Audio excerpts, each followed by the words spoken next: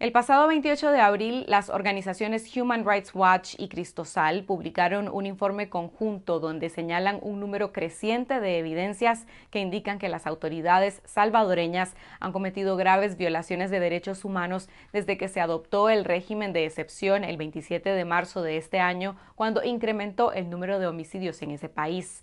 Mi colega Alejandra Padilla habló con la jefa jurídica anticorrupción y justicia de la organización Cristosal, Ruth López, y esto fue lo que dijo. ¿En qué consiste el régimen de excepción impuesto en El Salvador desde el pasado 27 de marzo? Nuestro marco constitucional establece en el artículo 29 la posibilidad de, eh, fijar un régimen de excepción cuando ocurren determinadas circunstancias como por ejemplo una guerra, una pandemia, cuando hay eh, graves desórdenes del orden público, dice también la Constitución. Sin embargo, hay que tener claridad de que el, el, incremento de homicidios que hubo durante ese fin de semana, que fue un fin de semana sangriento en El Salvador, donde entre miércoles y domingo murieron 87 personas, eh, no ha sido considerado como una situación excepcional, es decir, ¿Por qué no ha sido considerado como una situación excepcional? Porque ya la jurisprudencia constitucional, en nuestro caso, ha dicho desde el año, desde la década de los 90, que el incremento de homicidios no constituye una, una causal para eh, promover un régimen de excepción. ¿Por qué? Porque un régimen de excepción lleva a la suspensión de derechos y a la suspensión de garantías.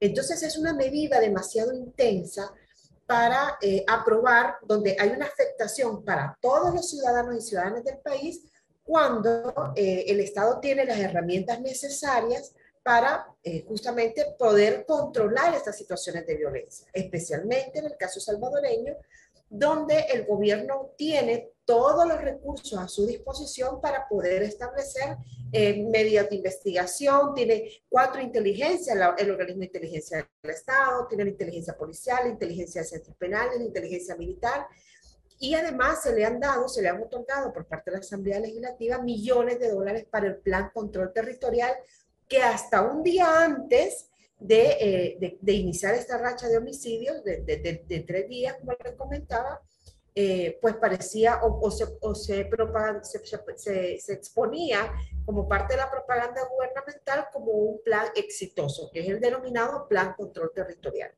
¿Cuáles son los abusos y violaciones de derechos humanos que han documentado durante el régimen de excepción? Nosotros podemos advertir, por ejemplo, distintas situaciones que voy a tratar de enumerarlas eh, y, y sintetizarlas de manera muy rápida. En primer lugar, se han detectado vulneraciones, por supuesto, al derecho a la vida. durante este régimen de excepción hay cuatro personas que ya han fallecido dentro de los centros penales por violencia, es decir, por violencia porque han sido atacados por otros internos.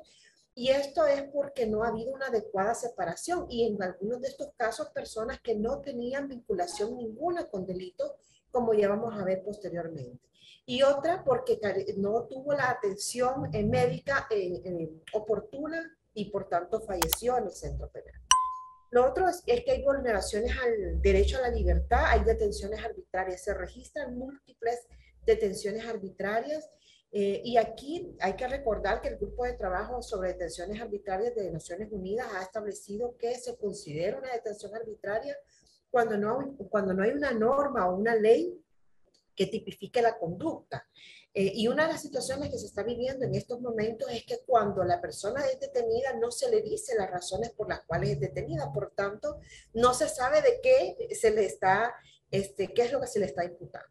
La detención, además, eh, otro de los criterios es que se realiza por ejercer derechos o libertades. En otros casos es cuando no se sigue un procedimiento legal para, para ejecutar la detención, que es precisamente ante los casos en los que estamos o cuando no, se, no hay evidencia de que hay una, en la comisión de un delito concreto. Entonces, cuando las personas son detenidas, no se les dice por qué, pero además después no se les logra imputar por qué eso es una constitución de una detención arbitraria.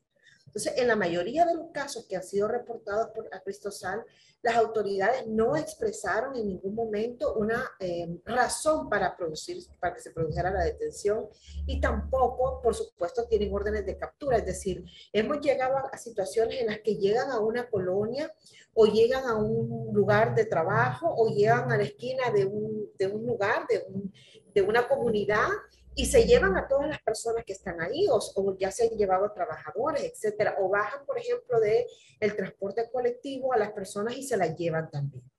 Hay videos, o sea, esto es un tema que ha estado documentado, hay videos, hay, eh, todas estas situaciones han sido em, expuestas públicamente. También se les ha detenido en algunos casos por no portar su documento único de identidad o porque, eh, mm, por ejemplo, eh, andan su celular y entonces el celular anda descargado y entonces la policía cuando pide los datos, cuando pide el, teléfono, no pueden verificar y entonces esto también ha provocado esa detención. O cuando eh, se, se encuentra, por ejemplo, una fotografía o una imagen que dice la policía que comprende, o sea, de manera incluso a veces hasta subjetiva, de que tiene vinculación con pandillas, ¿no?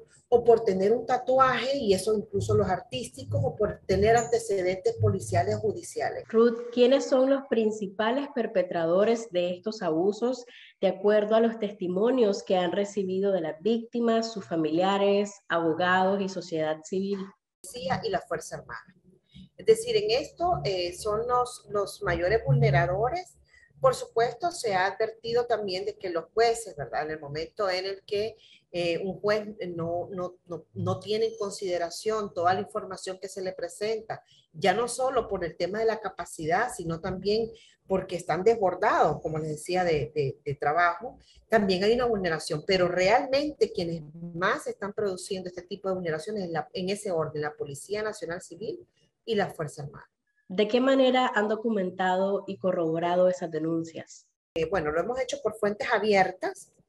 Esa es una, una, forma y la otra es una plataforma exclusiva de denuncias sobre el régimen de excepción que eh, Cristosal ha habilitado. Entonces las personas llenan un formulario, por supuesto tienen que dejar un, entre, un, número de contacto, un correo electrónico que permite a nuestro, al personal contactarse con ellos eh, para eh, verificar cuál es la situación que están, en la, en la, que está su familiar o qué es lo que saben, cuál es la arbitrariedad que ellos van a denunciar.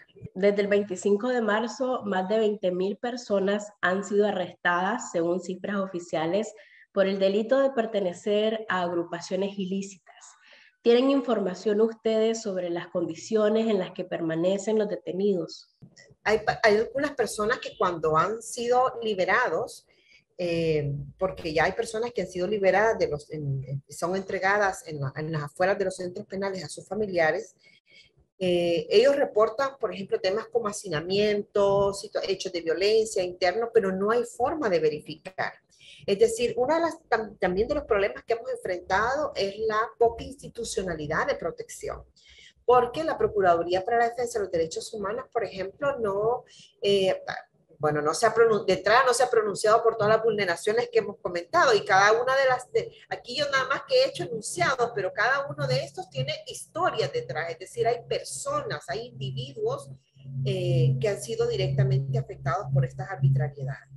En redes sociales hay un debate entre la gente que opina y avala el régimen de excepción, el discurso y las medidas adoptadas por el presidente Bukele por considerar que estas personas merecen esos tratos. ¿Cómo es visto desde la perspectiva de los derechos humanos? Eh, la situación es compleja porque realmente los salvadoreños están cansados, estamos cansados de todo el daño que han causado las pandillas. Es decir, la situación de violencia que vive El Salvador es una situación crítica y no es de ahora, es una situación que a lo largo de los años no ha sido controlada. Entonces, eh, ¿qué ha pasado? Detrás de todo esto hay, hay cosas que, que, hechos y situaciones que nosotros no conocemos a plenitud, pero aquí se habla de un pacto con pandillas, por ejemplo, ya en algún momento, en la época de Mauricio Funes, hubo un pacto con pandillas, pero ahora también se está hablando de un pacto con pandillas. Han sido señalados funcionarios del gobierno, por el mismo gobierno de Estados Unidos, por ejemplo, que en investigaciones han aparecido vinculados a pactos con pandillas relacionados hasta con temas electorales. Entonces, y estamos hablando de altos funcionarios eh, que están ahorita mismo en el ejercicio del gobierno. Entonces, claro, la situación de seguridad es una situación compleja. Eh, esto sin tener en cuenta otros, otras expresiones del fenómeno, porque no solo son las pandillas, aquí estamos hablando del crimen organizado. Pero, eh, y claro, la ciudadanía está cansada, eso, eso tenemos que reconocerlo y, además lo vivimos, es decir, eso cualquier salvadoreño lo, lo, vive de distintas perspectivas. Desde las desapariciones, por ejemplo, tenemos un alto número de mujeres y, hombres desaparecidos, la, la, tasa de homicidios, que aunque aparecía controlada por el supuesto plan de control territorial que ya hablábamos antes, ¿verdad? Que parecía que era lo mejor y de pronto ya dejó de existir. Eh, pero también los hechos de, de, violencia y de, y de, calle que nosotros eh, podemos ver, advertir diariamente y además de esto, la renta, ¿no? La renta y la extorsión. Sin embargo, eh, esto es un tema y por eso decía, creo la, las organizaciones, ninguna se opone a que se establezcan medidas eh, no solo represivas, porque todo el sistema penal es un sistema represivo eh, para contener el delito, pero eso es una cosa y otra cosa es vulnerar los derechos de manera eh, general. Human Rights Watch y Cristosal documentaron dos casos de personas detenidas durante el régimen de excepción que murieron bajo custodia y medios de comunicación salvadoreños han informado sobre tres casos más. Las autoridades gubernamentales se han pronunciado sobre estas muertes. Sobre estas situaciones no hay ninguna explicación por parte del gobierno. Y esto es sumamente grave porque estas personas estaban bajo responsabilidad, estaban bajo la custodia de, eh, en este caso, del Ejecutivo. Pero no hay ninguna explicación y ni la habrá. Es decir, una de las características del, del, gobierno de Bukele es precisamente no referirse a lo que puede resultar incómodo o aquello que pueda ir en detrimento de la imagen del gobierno o que esto lleve a que la ciudadanía advierta, bueno, esto, esto está mal, ¿verdad? Que lleve a un, a un nivel de cuestionamiento. Por tanto, no habrá ningún reconocimiento en el caso de estas eh, muertes eh, que son hechos graves y también, como que digo, hay, hay otros que han sido conocidos a través de los medios de comunicación. En el informe también señalan violaciones al debido proceso contra los imputados. ¿Cuáles son estas violaciones? De manera arbitraria, porque incluso la Convención Americana de Derechos Humanos impide que se suspenda el derecho a la defensa. Digo el de, de la defensa porque es un derecho que todos identificamos de alguna manera, ¿no? Los demás pueden resultar incluso hasta más técnicos, pero el derecho a la defensa es muy claro. Entonces, la Convención Americana y en esto la Corte Interamericana se ha pronunciado, no puede haber una suspensión de ese derecho porque todos requieren, todos em, eh, como, como personas, pues pueden tener una, una defensa. Sin embargo, eso no es lo que está ocurriendo porque las personas pueden tener una defensa y pública, en el caso del privado, ha costado, eh, como le decía, los, hay colegas, abogados que han sido este, llamados a, a, no defender a pandilleros, cuando, insisto, no todas las personas que están siendo detenidas son pandilleros y eso es una situación, esa es de las situaciones más graves que hay, donde se le está privando de libertad a personas que no han cometido un delito. ¿Está El Salvador experimentando una crisis de derechos humanos? El Salvador viene viviendo una crisis de derechos humanos desde que inició la pandemia. O sea, el, tratamiento, por ejemplo, de la pandemia en El Salvador fue un tratamiento militarizado. Un tratamiento de la pandemia a partir de suspensiones de garantías, precisamente para evitar la circulación, eh, para evitar, eh, eh, para meter a las personas en centros de contención. Aquí hubo una política muy, muy fuerte para para limitar la libertad de los ciudadanos. Pero si continuamos en el, en el tiempo, cuando se empezó a ejercer el derecho a la protesta, por ejemplo, también ha sido limitado el derecho a la protesta a partir de poner retenes policiales para impedir que las personas lleguen. La libertad de expresión también ha sido limitada a partir de que se ha limitado el derecho a la información y una estigmatización muy fuerte y hay una criminalización de la actividad periodística. lo que está viviendo en nuestro país los periodistas es sumamente grave. Y además de eso, nos han cercenado por completo el derecho al acceso a la información pública, ¿no? Porque eh, mucha información ha sido puesta en reserva y ya no es del conocimiento público en cuanto a la gestión y a la gestión del gasto público. Entonces, si nosotros arrastramos todo esto, vamos viendo cómo el deterioro eh, de los derechos se ha ido produciendo y bueno, hoy con esta situación donde ni siquiera hay respeto por la integridad física, por la vida de las personas.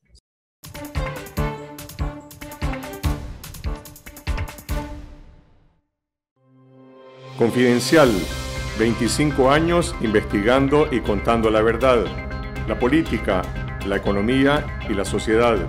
La aspiración de un país con democracia, prosperidad y justicia. La corrupción, la pobreza y la violencia. Los temas que afectan e interesan a todos los nicaragüenses. Revelamos la verdad que otros ocultan. Fiscalizamos el poder. Promovemos el debate público Hacemos periodismo independiente. Por una ciudadanía crítica y mejor informada. Contá con nosotros, estamos cada vez más cerca de vos. Nunca podrán confiscar la verdad. Confidencial, conectados con la verdad.